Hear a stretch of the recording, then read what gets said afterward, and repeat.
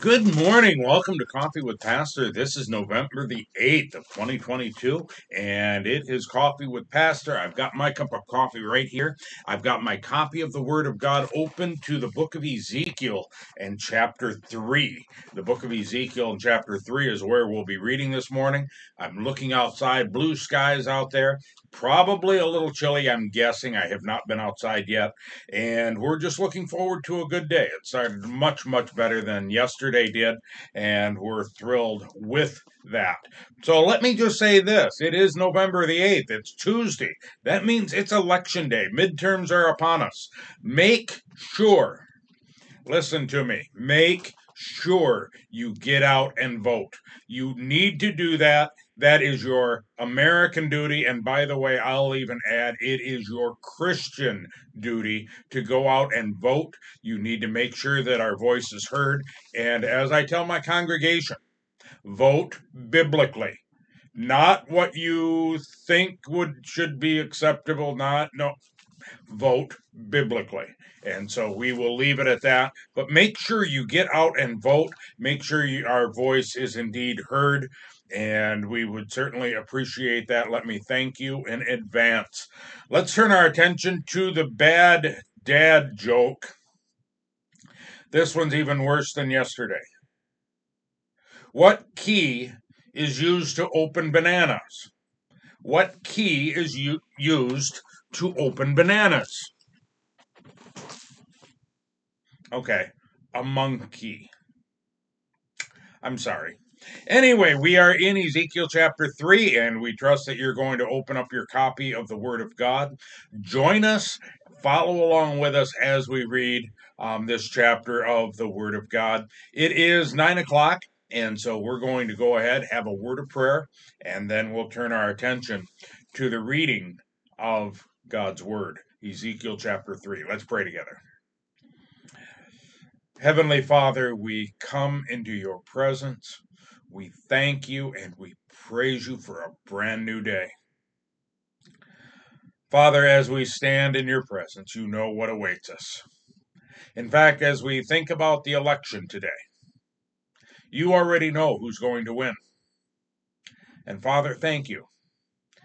We do pray that as a nation, that you would not give us what we deserve, but Father, that you would deal with us according to your mercy. Father, as we stand in your presence, we thank you for your providence, the fact that you order our lives. And Lord, we just ask that as we gather together, as we read your word today, that you would guide us, you would direct us, you would teach us. Father, again, as we think about the events of today, we, we do pray for our country. We think of crime rates, we think of the abortion, we think of uh, all of these things that are going on. And Lord, we come into your presence.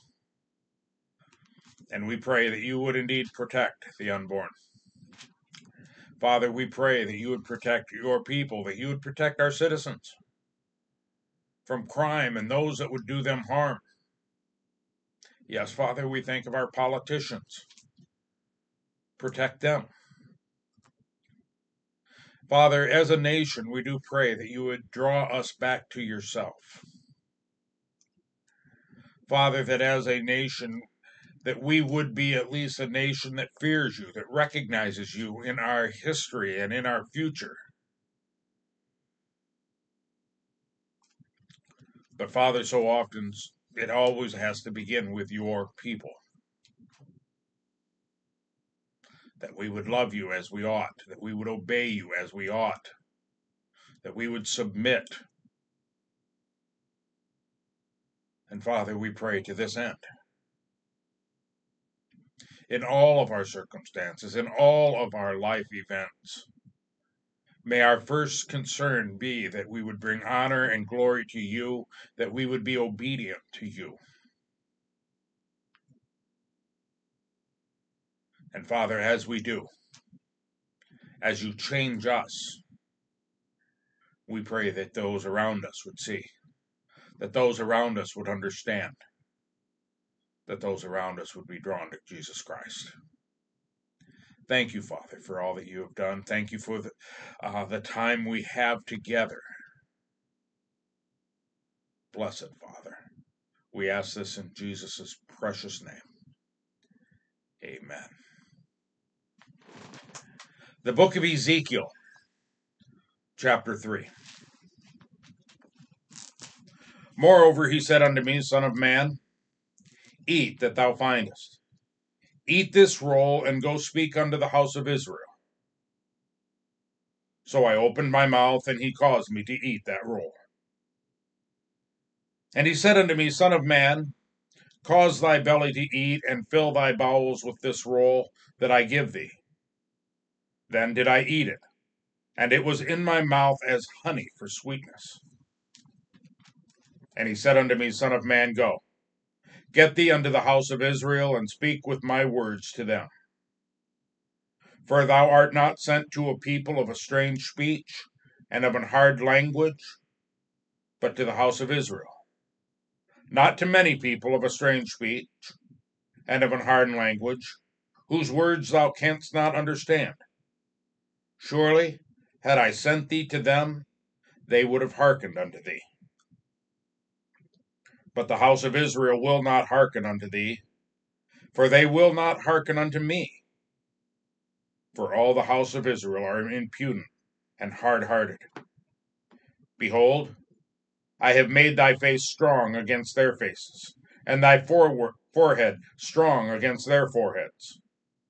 As an adamant harder than flint have I made thy forehead. Fear them not, neither be dismayed at their looks, though they be a rebellious house. Moreover, he said unto me, Son of man, all my words that I shall speak unto thee, receive in thine heart and hear with thine ears. And go, get thee to them of the captivity unto the children of thy people, and speak unto them, and tell them, Thus saith the Lord God, whether they will hear or whether they will forbear. Then the Spirit took me up, and I heard behind me a voice of a great rushing, saying, Blessed be the glory of the Lord from this place. I heard also the noise of the wings of the living creatures that touched one another, and the noise of the wheels over against them, and a noise of a great rushing. So the Spirit lifted me up, and took me away, and I went in bitterness, in the heat of my spirit. But the hand of the Lord was strong upon me. Then I came to them of the captivity at Tel Abib, that dwelt by the river of Chebar, and I sat where they sat, and remained there astonished among them seven days. And it came to pass at the end of seven days that the word of the Lord came unto me, saying, Son of man, I have made thee a watchman unto the house of Israel. Therefore hear the word at my mouth, and give them warning from me. When I say unto the wicked, Thou shalt surely die, and thou givest them not warning, nor speaketh to warn the wicked from his wicked way to save his life, the same wicked man shall die in his iniquity, but his blood will I requite at thine hand. Yet, if thou warn the wicked, and he turn not from his wickedness, nor from his wicked way, he shall die in his iniquity, but thou hast delivered thy soul. Again, when a righteous man doth turn from his righteousness and commit iniquity, and I lay a stumbling block before him, he shall die, because thou hast not given him warning. He shall die in his sin, and his righteousness, which he hath done, shall not be remembered, but his blood will I require at thine hand. Nevertheless, if thou warn the righteous man, that the righteous sin not, and he doth not sin, he shall surely live, because he is warned. Also, thou hast delivered thy soul. And the hand of the Lord was there upon me, and he said unto me, Arise, go forth into the plain, and I will there talk with thee. Then I arose, and I went forth into the plain, and behold, the glory of the Lord stood there, as the glory which I saw by the river Chebar. And I fell on my face. Then the Spirit entered into me, and set me upon my feet, and spake with me, and said unto me, Go, shut thyself within thine house.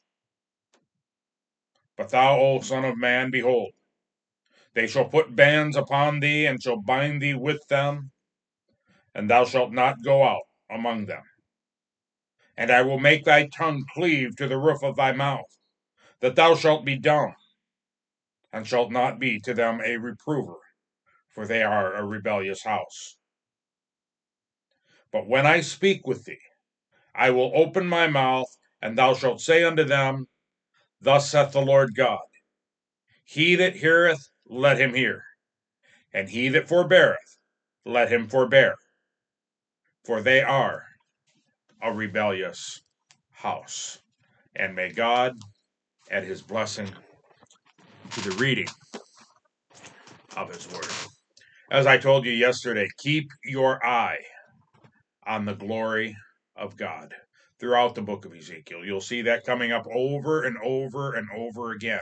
Keep your eye on it. God is very, very concerned with His glory. You and I are here to bring God glory. So, beloved, I'm going to ask you today focus on being faithful to God to glorifying God, and in all things be faithful to Him. And also, as we say, in all our doing, let's make sure that we do not become or we do not allow ourselves to become someone else's excuse for turning away from the gospel of Jesus Christ. Until tomorrow, remember God loves you and so do we and may the grace of our Lord Jesus Christ be with you all. Amen.